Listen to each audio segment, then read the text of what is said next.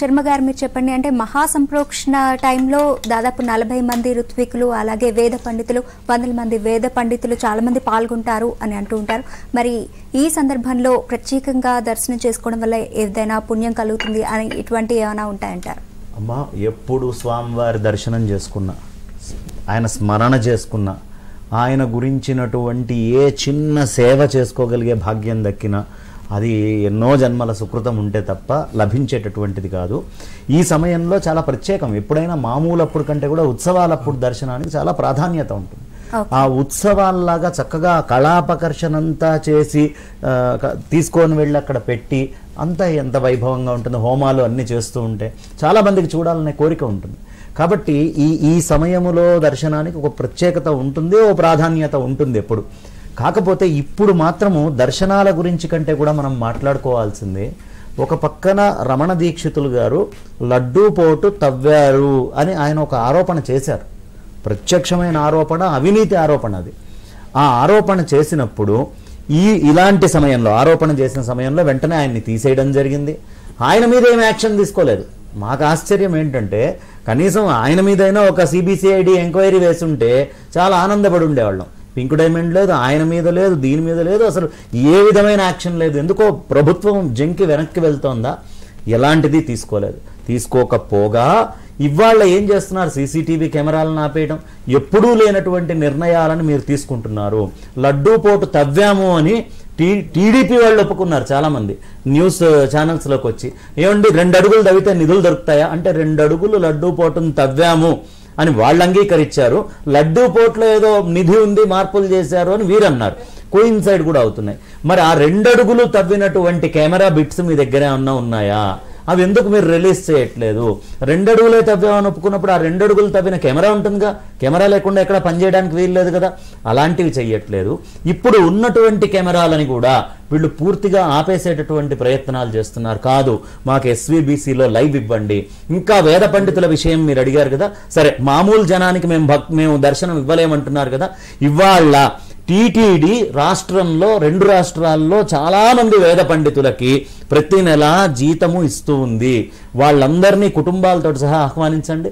వాళ్ళకు ఉండడానికి గదులు ఇవ్వండి. వాళ్ళందరినీ అహోరాత్ర పారాయణం చేశారుగా యాభై ఏడులో. నిర్విరామంగా పారాయణం చేశారుగా. తొమ్మిది రోజులు నిర్విరామంగా పారాయణ అవుతూనే ఉంది కదా. అలాగే ఇప్పుడు కూడా వాళ్ళందరినీ అక్కడ కూర్చోబెట్టండి నిర్విరామంగా పారాయణం చేయించండి. తర్వాత ఎంప్లాయీస్ మీకు పాపం ఎప్పుడు వాళ్ళు ఆ ఊడ్చే వాళ్ళ దగ్గర నుంచి అందరూ చాకరీ చేసేవాళ్ళే కదా. సరే వాళ్ళకి సెలవులు ఇచ్చారు సెలవులు ఇచ్చిన వాళ్ళని వాళ్ళ కుటుంబ సభ్యులకి వాళ్ళు పిలిచేటటువంటి వాళ్ళకైనా దర్శనం ఇవ్వండి. మీ మీ ఎంప్లాయీస్కి ప్రాధాన్యత ఇవ్వండి.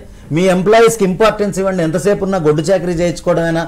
కాదు కదా వాళ్ళకు కూడా కొన్ని ప్రివిలేజెస్ ఇవ్వండి పన్నెండేళ్ళకి ఒకసారి చేస్తున్నారు. మీరు మీ మీరు ఎంప్లాయీస్గా మీరు పిలుచుకునే ముగ్గురిని పిలుచుకోండి మీ బంధువర్గాన్ని పిలుచుకోండి మీ అందరికీ దర్శనాలు ఇస్తామని. రెండు గంటల టైంలో మీరు చాలా ఇంకా వేరే విధమైనటువంటి ప్రతిపాదనలు చేయొచ్చు కదా. అలాంటివి ఏమీ చెయ్యట్లేదు. మాకు ఖచ్చితంగా దూరదర్శన్లో ఎస్వీబీసీలో వీటి లైవ్ బిట్స్ని కవరేజ్ చేసి వెయ్యాలి. మేము ఇళ్ళల్లో కూర్చొని స్వామి మీరు జనం వస్తే కంట్రోల్ చేయలేమనేదేగా మీ ఇబ్బంది. ఈ విధంగా మీరు జనాన్ని లోపల ఉంచుకోండి. ఈ విధంగా ఉపన్యాసాలు పెట్టించండి. ఈ విధంగా యజ్ఞయాగాదులు చేయించండి. ఎంప్లాయీస్ అందరికీ ప్రాధాన్యత ఇవ్వండి.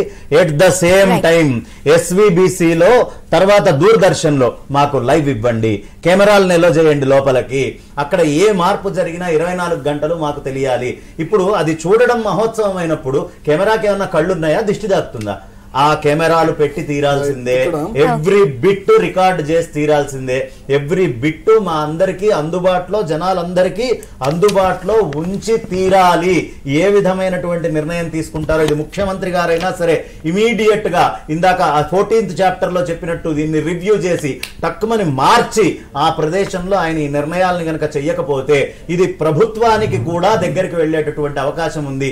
ఆ ప్రభుత్వం అంటే మాకు గౌరవం ఉంది కాబట్టి అది నిశ్చలంగా ఉండాలి కాబట్టి ఇంత గట్టిగా మేము చెప్తున్నాం ఖచ్చితంగా వెంటనే ఓ నిర్ణయం తీసుకొని అక్కడ లోపల గుళ్ళో ఏ విధమైనటువంటి తేడా లేకుండా భక్తుల మనోభావాలు దెబ్బతినకుండా ప్రతి యాక్టివిటీని ప్రతి అణువు ఇసుమంతైన దాన్నైనా సరే చూపిస్తూ అక్కడ చెయ్యాలి. మాకు ఎందుకు ఇన్ని అనుమానాలు వస్తున్నాయి అంటే ఇవాళ మీరు ఆన్లైన్లలో కూడా చాలా మార్చేస్తున్నారు. ఎప్పటికప్పుడు రిజల్యూషన్స్ని అప్లోడ్ చేయాలమ్మా. ఆ రిజల్యూషన్స్ని అప్లోడ్ చేసేటప్పుడు మీకు చూడండి ఎన్ని మిస్ అవుతున్నాయో. ఒకటి నుంచి నలభై ఏడు పేజీల దాకా పదహారు ఐదు రెండు వేల పద్దెనిమిది ఒకటి జరిగింది. అందులో ఇరవై ఐదో పేజీ మిస్ అయిపోతుంది. తర్వాత సేమ్ ఇలాగే రెండో దీంట్లో యాభై ఒకటి నుంచి నూట ఎనిమిది ఐదు ఆరు రెండు వేల పద్దెనిమిదిలో. అరవై ఎనిమిది అరవై తొమ్మిది రెండు పేజీలు మిస్ అవుతున్నాయి. ఎందుకు రిజల్యూషన్స్ మిస్ అవుతున్నాయి? నూట పదకొండు నుంచి రెండు వేల ఏడు ఇరవై ఆరు ఆరు రెండు వేల పద్దెనిమిది. అక్కడ ఎన్ని పేజీలు మిస్ అయినాయి చూడండి. నూట ఇరవై రెండు నూట ఇరవై నాలుగు నూట ఇరవై ఐదు నూట ఇరవై ఐదు. ఇలా అనేకమైనటువంటి పేజీలు ఒకటి రెండు కాదు. నూట ఇరవై ఐదు నూట ఇరవై ఆరు నూట ఇరవై ఏడు నూట యాభై ఏడు రెండు వందల ముప్పై ఏడు రెండు వందల ముప్పై ఎనిమిది రెండు వందల అరవై తొమ్మిది ఇన్ని పేజీలు మిస్ అవుతున్నాయి రిజల్యూషన్ కాపీస్లో. ఎందుకు మీరు అప్లోడ్ చేయట్లేదు? పద్నాలుగు ఏడు రెండు వేల పద్దెనిమిది అసలు పూర్తిగా అప్లోడ్ చేయలేదు. కాబట్టి ఏదో తేడా జరుగుతోంది. ఇలాంటి అప్లోడింగ్స్లో తేడా వస్తుంది. మీకు ఈ కొత్త కమిటీ వచ్చిన దగ్గర నుంచి ఏ ఒక్క హిందువు కూడా సంతోషంగా లేడు. కాబట్టి ఇమీడియట్గా అక్కడ ఉండేటటువంటి ఇప్పుడున్న ట్రస్ట్ని ఇన్ని చోట్ల అవిశ్వ ఎక్కడ ఏసారి బోర్డు మీటింగ్ పెట్టినా మా విశ్వసనీయత పూర్తిగా కోల్పోతున్నారు కాబట్టి వెంటనే ఆ టీటీడీ బోర్డుని బర్తరఫ్ చేయాలి. బేషరతుగా చంద్రబాబు నాయుడు గారు యోగ్యులైనటువంటి వాళ్ళని అక్కడ ఉన్నటువంటి జియ్యంగార్లని చిన్నజీయర్ స్వామి వారిని ఇంకా పీఠాధిపతుల్ని శృంగేరి ఇత్యాది పీఠాలని అన్నిటినీ ఆశ్రయించి వైఖానస ఆగమాన్ని తెలిసినటువంటి వాళ్ళని తీసుకొని ఒక సక్రమమైనటువంటి బోర్డు కనుక ఏర్పాటు చేయకపోతే ప్రజల్లో పరిపూర్ణంగా ఇవాళ విశ్వాసాన్ని కోల్పోతారు దీంట్లో అనుమానం లేదు.